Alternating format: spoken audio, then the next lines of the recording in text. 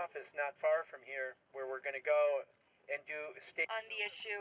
And then, of course, we have Faisal uh, Jabbar, who um, whose brother-in-law and and they're located in Southern California, so they need to understand that they're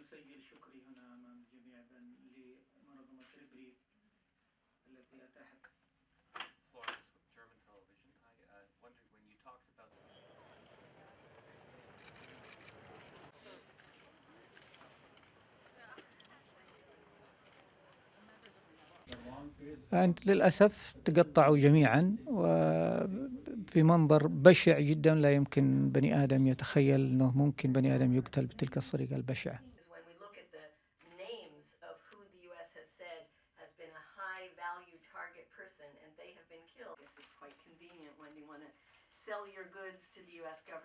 سالم كان متوقع سالم وأبوه وأهله جميعا كانوا متوقعين أنه ممكن يقتل أو يستهدف من قبل القاعدة.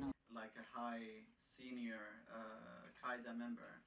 Uh, surprisingly, that's not the first time they, they kill him. They kill him once. اعتقادا مننا يقينا بأن أوباما مسؤول عن هذا عن اتخاذ هذا القرار باستخدام هذه الصواريخ واعتقادا أيضا من أن هادي برضه هو أيضا المسؤول أو الرجل الثاني اللي مقتنع بهذه الطريقة آه، كانوا الاثنين على موعد في البيت الأبيض ولهذا نناشدهم بأنه في هناك ضحايا وأن هذه السياسة خاطئة جدا إذا كان مكافحة القاعدة بهذه الطريقة أن يقتلوا ناس لا يعرف من هم هم أبرياء أو هم قاعدة.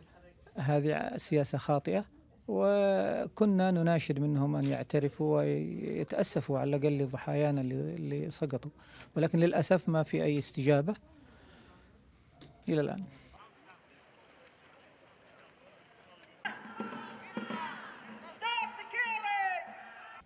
الذي أريد أن أوصله للشعب الأمريكي أنه كما هو آه، من حقه أن يعيش بأمان أنا من حقي كمواطنة على هذه الأرض أن أعيش بأمان.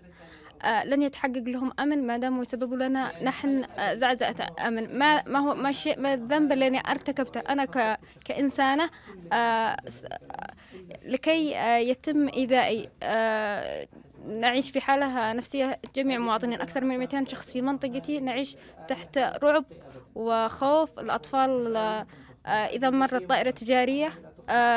لا, لا يفرق ما بين طائرة تجارية وبين درونز الرعب الذي تسبب في المنطقة بشكل مخيف. فهو يحق لنا. كم عندما أتيت لهنا شفت التباين الحضاري ما بيننا وبينهم. فقلت ما يعني ما هو ال- الجرم الذي ارتكبته؟ ناس يعيشون بها آه، في حضارة مختلفة عنا. بينما إحنا نواجه صعوبة في الحياة.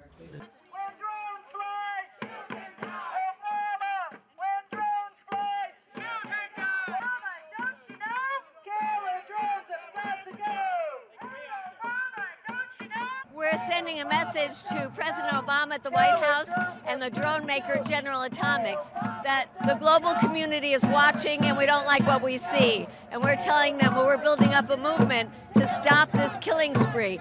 It is not the right thing for a democratic society to be killing people we don't know, people who never had a chance to surrender, people who have never been captured, tried, or convicted of anything. That's wrong and we want to stop it.